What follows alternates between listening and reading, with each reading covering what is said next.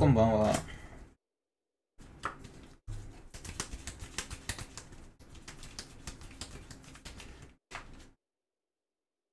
はい、お疲れ、ありがとうございます。ちょっと待ってね。いや、でも久しぶりね、モダン PT だったけど。え、みんなトップ8見た？結構ね、トップ8、特に、特にトップ8の試合は、なかなかやばかったね。決勝面白かったけど、やっぱりまあ、ラクトスの試合は結構面白くなりがちだったけど、他の試合大体一方札だったからな。盛り上がってたのかな、配信。決勝はね、面白いよよかったね。まあ、最後はなんかすごい、いいね。なんかトロンらしい終わりだったよね。あって、ブラッドムーン、あって言って。うん。うん。いつも通り10勝くらいするやつがちょっと、そう。まあ、いつも通りでしたね。はい。まあまあまあ、大体、10勝、プラマ、大体その、プラマイ2か3に収まるんだよね、マジックって。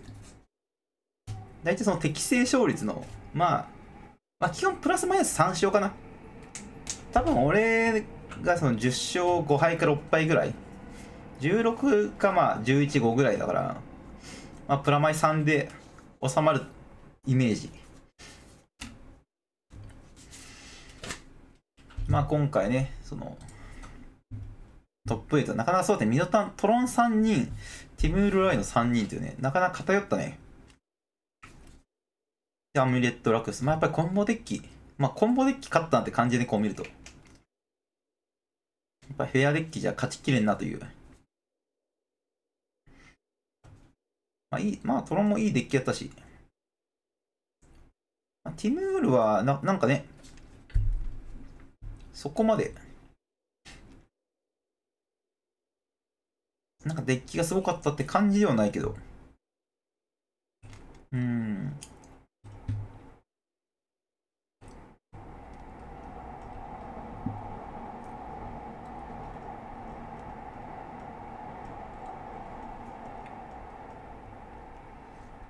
通だった。普通に、普通で普通に勝ったなという。まあ、トロンは勝ち組だね、間違いなく。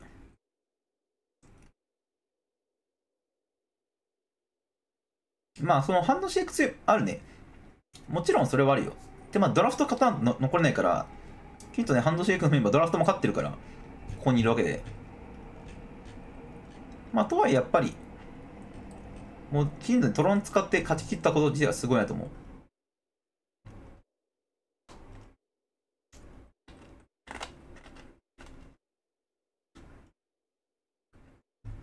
まあ、フェア、トロンに超えるというか別にフェアは勝たないかな。強くないね。単にトロン以外にも別に、後で軽く話すけど。まあ、トロンはその一部のデッキに対してめちゃくちゃ強くて、やっぱりモダンってそのマッチアップンとか、そめちゃくちゃ相性がいいマッチがあるデッキで勝ちやすいから。まあリストはやっぱ良かったね。まあ、俺はそんなトロンやってるわけないけど、なんかまあでもリスト見るとまあわかるかなって、わかるなぐらい、調整した結果見るし、なんか調整したらまあ、まあこう、こうはなってもおかしくないなって感じがする。まあ森の戦術がね、3か4かぐらいかな。結局このミド、なんだこのね、彩色の星？彩色の星？まあこれが今あんま強くないから減ってて、基本的にトロンだったらこれが4枚がメインパートだったけど、まあこれが弱いから、まあ、溝間安定しないようになって、まあ、森の戦術が減って、タリスマになったみたいな感じだと思うんだけど。うん。まあまあよく調整されてるデッキじゃない？まあでこれ本当にチームでやっぱりトロンを誰いいと思った人がいて、なんかみんなで調整した感ある。やっぱりトロン、なんだろう、一番多分トロンマスターが3人ぐらいいたら、このリストにはなると思う。今回の PT。トロンマスターが3人いて、なんかきちんとガチで調整したら、まあまあ、こうなるんだろうなっていうリストではあるんだけど、まああのね、あのメンツでやっぱりいて、まあいろんなデッキを全部調整して、そのうちの一つがこれっていうのがすごいね。うん。4の厚さ回して無理に最初それ、うん、いや、でもね、揃ってたよ。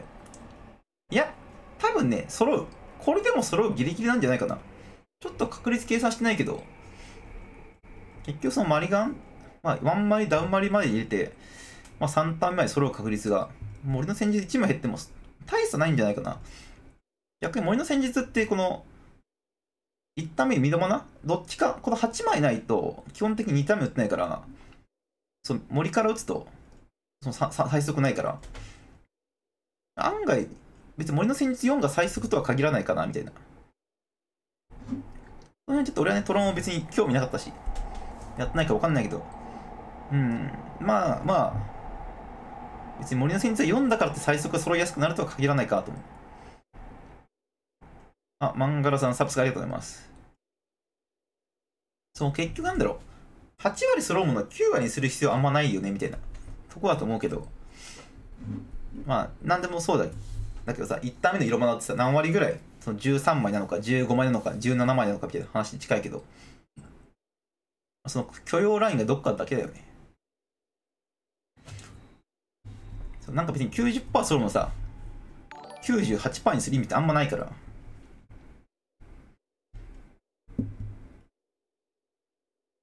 まあ、カルカンは逆に、普通結構オーソドックスだよね。44入れて。カルカンの方は多分、また別だけど。うん。なんだかんだで、でもこのカルカノがね、決勝まで行くという。これはすごい、かなり normally、一般的なリストじゃないかな。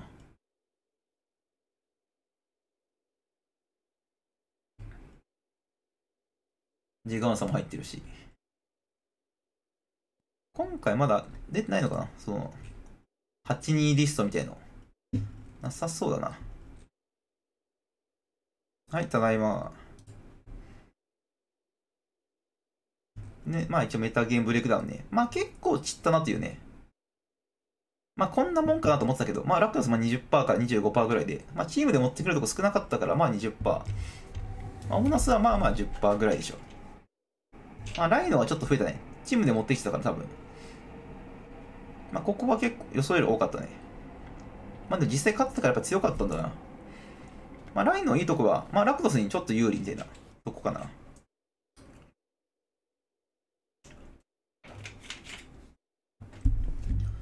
や、このトロントライノがね、チームデッキで、まあちょっと母数増えたかなっていう。まあで、それ以外は大体、まあまあそんなもんかなっていうね。数字ではあるね。まあ、アザーもね、すごい多いからやっぱり。まあモダンって感じするよね。ただ、アザーは勝たんかったなという。うん。ハレジャーに成績優秀リストある。まだいっぱいありそうだからな。モダンってね、結構ね、ドラフトね、1号とかしてると、単純にね、相手が弱いってのもあるけど。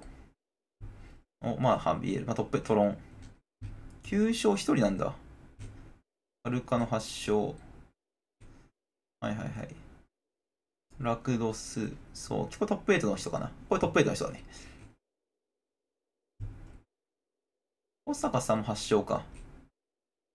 松浦君も8勝って、やっぱりラクドスは結構勝ってるな、8勝。うん、松浦君8勝で。で、カスケード、カスケード、カスケード、カスケード。お、マーホーク、すごい。ダメタイタン、これトップ8かな。で、ゴルガリ、あ、あ、ジム・デイビスね。あジム・デイビス？ゴルガリだったんだ。結構ドラフト負けたかじゃあ。お、ボロス・バーン、ハンマータイム。あ、白タンしかも青白じゃないんだ。珍しいな。うん。はい、こんばんは。フードデッキとかはいないね。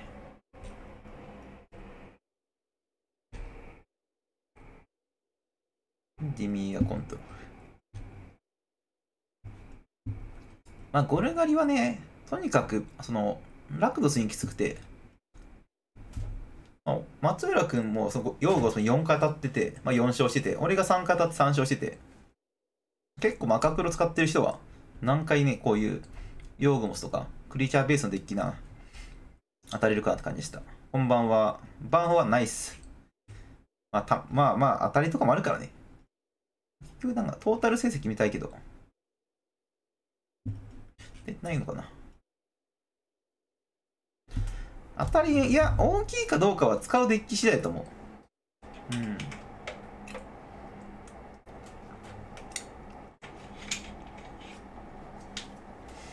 まあラクロスは当たりそんなに結局まんべんなかだったら勝ち越せるかなみたいなまあ言うてそんな当たりはない環境ではあるけどまあごく一部かなそのリビングエンドと、まあ、ライノ、まあ、ここはまあ終わった終わってるとかオムナスもまあよよくも、まあちょっときついけど7-3ぐらいあるかな。だその8-2とか9-1、そうアミレットとトロンとかって、確かトロン、もうアミレット8-2ぐらいの、8-2ぐらいあるはずなんだけど、そう。いや、分マリウの比重はね、いや、結局分マリデッキを使ってれば、まあまあ、大して変わらない。そう、分マリがまずあるかどうかでかいね。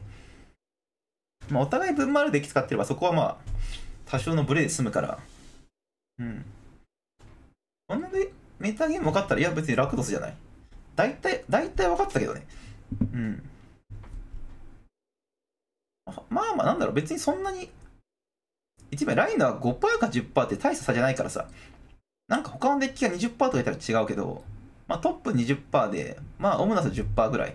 まあここって結構共通かなと思ってて、まあ残りはその5%から10%ってマジ誤差で、別に5%でも10%でも1回当たるか当たんないかだから、あんまりそこ考えてもしないから、そのなんかトロンとかライノが5%か10%かでデッキ選択変わんないから。まあどっちかって言ったらそのサイドのチャリスとか、まあブラッドムーンメインするとか、まあ、そういう構成の部分になると思う。ブラッドムーンが減っちゃうとやっぱり。トロンとか、まあきつくなるし、オムナスとかきつくなるしとか。うん。オムナスはマジで勝ってないね。なんか、花江くんがツイートしたけど、5敗ラインいないらしい、いなかったって言ってたから、まあ、オムナスは負け組じゃない。はいはいはい。おうちっちゃいな。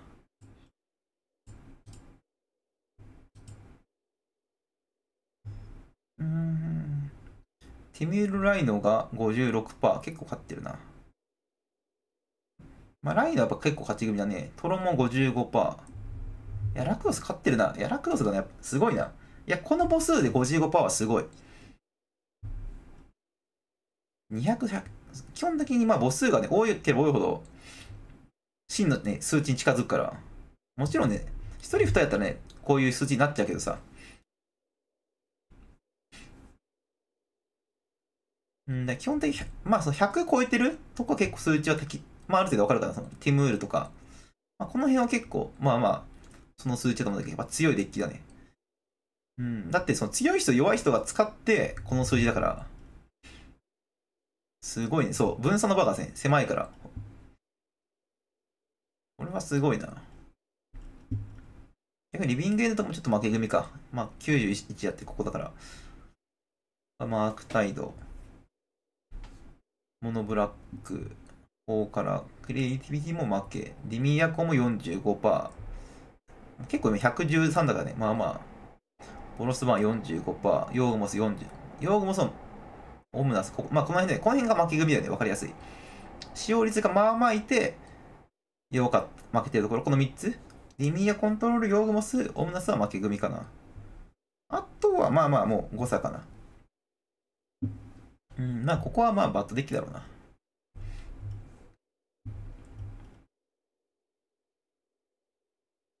うん。まあ、この辺はね、もう、省いちゃっていいかな。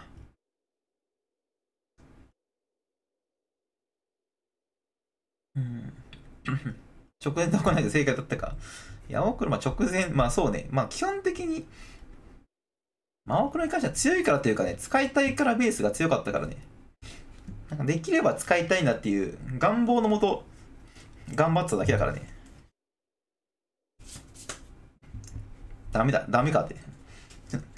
賞金戻った。マジこの PT 捨てる気があるならね、まあいいんだけど、まあ結局、チェインとか問題もあるからね。そう、まあ、ハンマータイム自体は、まあ、アトレスハンマーがまあまあ勝ってて、おもうちょっといてよ、ハンマーどっかに。上かなじゃ勝ってんじゃないかな、ハンマーも結構。青白ハンマーみたいだと思うけど。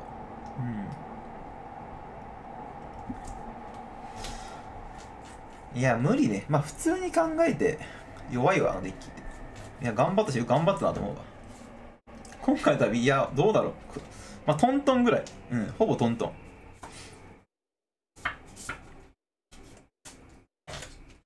なんとかトントンで収まったと言ってもいいかなぐらいか。あの結局ね、青黒コン何が弱いって、まあ、分回りがないだね。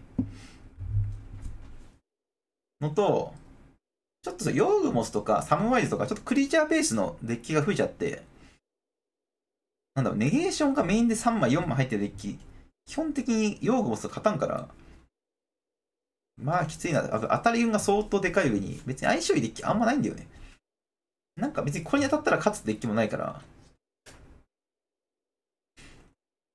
なんかハーフリングがもし環境になかったらよかったかもね。ハーフリングなければ、ちょっと青黒使う理由は上がったかもしれないけど、ハーフリングまでいるとね、もう、ダメだ、ダメだ、このデッキで。まあやっぱりさ、モダンは、ツイッターでも言ったけど、まあ押し付けるデッキが強いから、ちょっと押し付け力弱かったかな。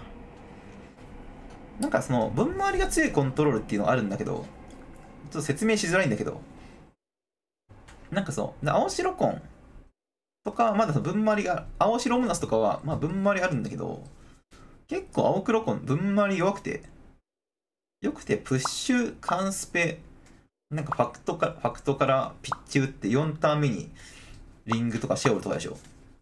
なんか、いや、パイオニアかなみたいな動きだからさ、分回りが。うん、なんか一人回しで強さ感じなかったからね。やめた。あとまあリスト見ててね、やっぱりちょっと、なん、なんかね、黒、黒何なんだみたいなね、とこあるよね、このデッキ。ああ、でも結構いろいろ入ってるな、この人。なんか黒の部分弱いんだよね。サウロン、プッシュ、弓使い、エディクト、シェオルじゃん。まあ基本これだけで、ネゲーション、ピアス、マナリーク。はいはい。まず、シェオルって聞くと、まずモダン、まずモダンだからね、そう。モダンでシェオルは、いや別にみたいな感じで。あと、多くがあんま強くないのはでかかったかな。まあ、この人もね、3にしてるのはすごいわかるわ。みんな4だったけど。うん。なんか、多くが強いっていうか、まあ、基本弱いんだけど、強いデッキは強いんだけど、まあ、多くが強いデッキは多分環境はほとんどいなくて、なんかその、別に殴るデッキでもないから、ライフ詰めていくメリットもないし、チャンプ2回すすできると嬉しいなぐらいのカードで。で、多くがあんま強くないになると、もうプッシュしかないから、黒いカードって。まあ、この辺ってもう仕方なく入ってるわけで、まあ、サウロもまあ別に強いカードじゃないから、普通のカードだから、なんかそうなったらなんか、なんか、なんで俺は青黒回してるんだろうってなった。うん。そうね、だ、そう。サインみたいなカードがね、あったら違ったけど。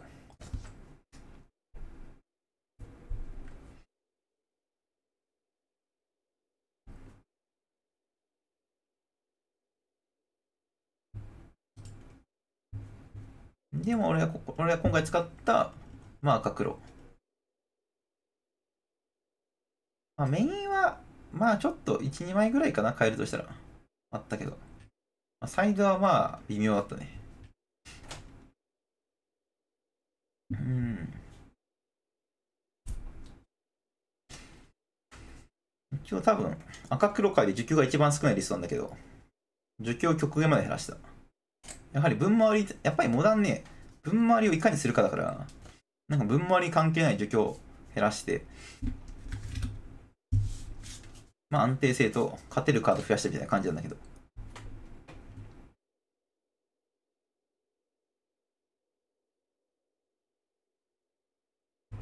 まあね、そう、優勝者のね、リストがまた、と、こっち見た方がいいか。うん。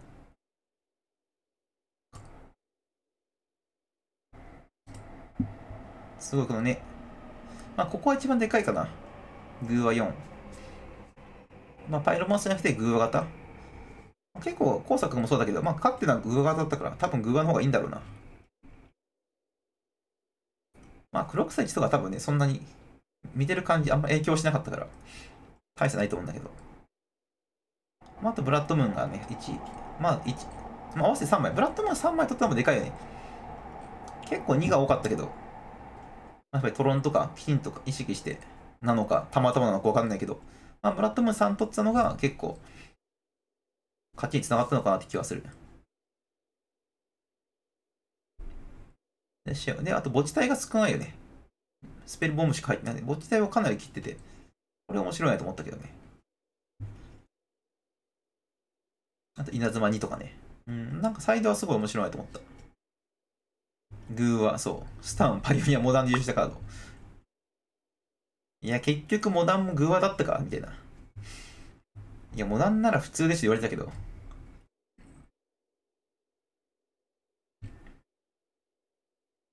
やっぱり、ね、最初ね、回し、一人回しとかしてる感じだとパイロマサがいいかなと思ったけど、やっぱサイド、サイドはかなりグーワの方が強くて、やっぱサイドカードやっぱ強制的にしちゃうパイロマンサーだったりとか、あとまあ多くがいると、やっぱり強制ドローだから、パイロマンサーにスタック多くされると、結構ね、チュンチュンいかれたりもするから。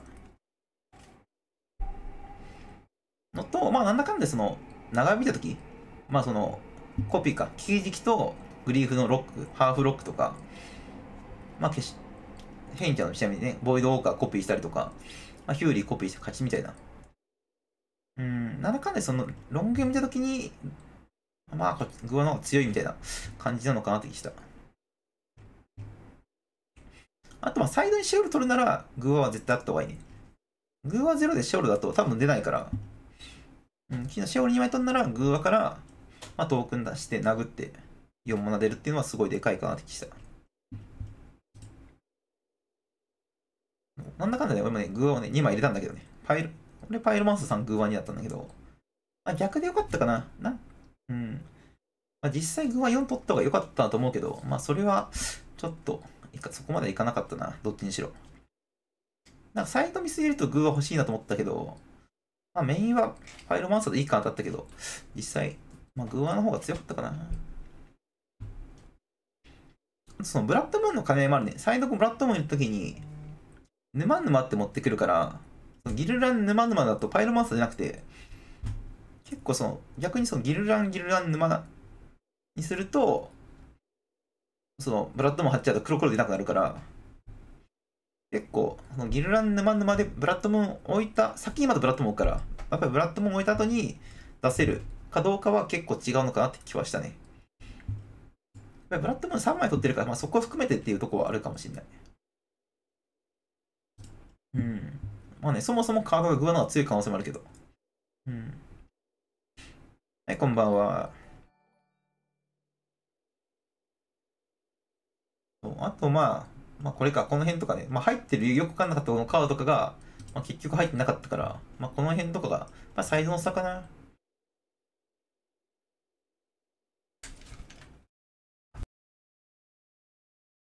とまあまあ、とりあえずね、まあ最後、まあ一応今シーズン最後の、まあ、PT が終わって、まあワールドの、まあ俺はね、あんまりワールドの権利関係ないから、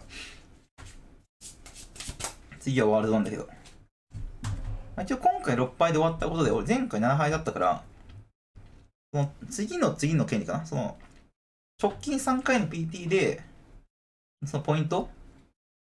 がなんか一定以上あると、その次の権利に出るんだけど、一応今回と前回で、そのポイント足りたから、まあ、次の PT 初日落ちしても、その次出るから、まあ、最初の次の PT と、その次の PT の権利はもう確もう確定して、電動の権利あるから、まあ、両方初日本でも、まあ、最悪ね、3つ目も出れるということで、まあ、来年1年は全部出れることは、まあ、今回で決まったということで、まあ、とりあえずあと1年はね、まあ、PT, PT は無事出れることは決,、ま、決定しました。